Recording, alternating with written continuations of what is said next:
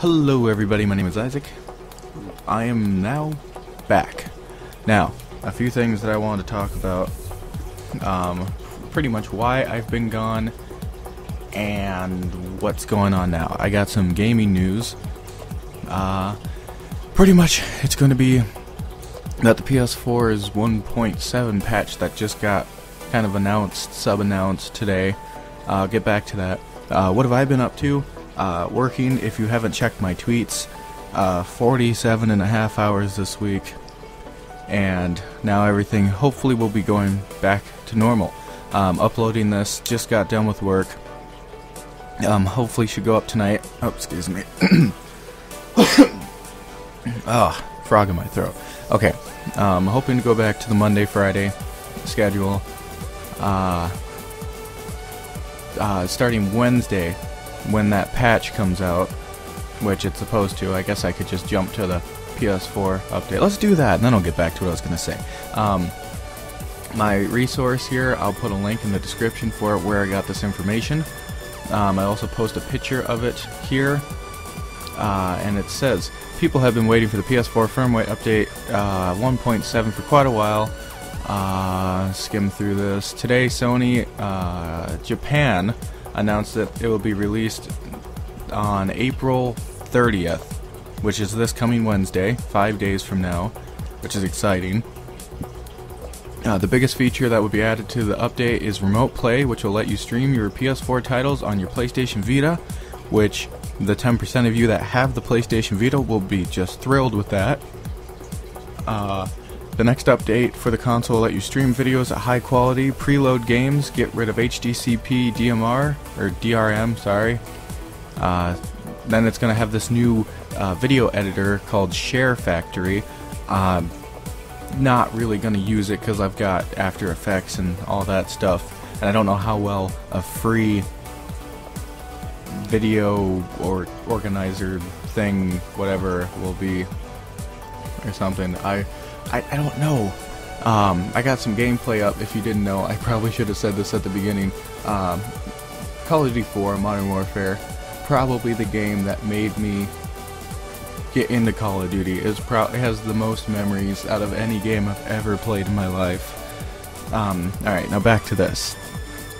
Um, it's got a new option where instead of getting 15 minutes of gameplay, you get as many as you want, pretty much, when you hit the share button, which is awesome.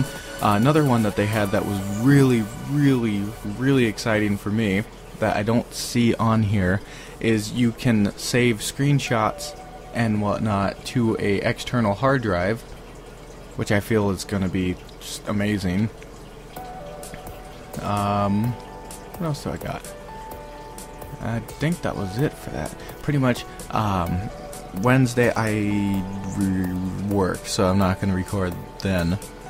But, I don't know how I'm going to do that.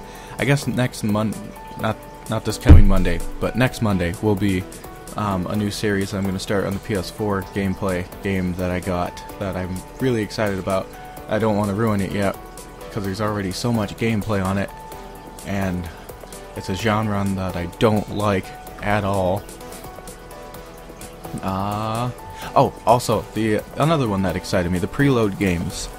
You can um, now pre-download a game when you pre-order it. So that way when it's the launch day, you can just play it instead of having to wait to download it or wait to install it or anything. It'll just be there ready to go. Now there's some problems with that in my perspective that when you do that, how do you know like what if they tweak something or change it? Then do you have to re-download that patch or how is that going to work? I don't understand that part completely. Or is it going to be when it's at a, a, stable point in its production that you will get to actually download it? Maybe. I don't know. It doesn't really make any sense to me, but I'm sure someone's going to explain it. Um, it's also going to ha have you, or have you, it's also going to be support.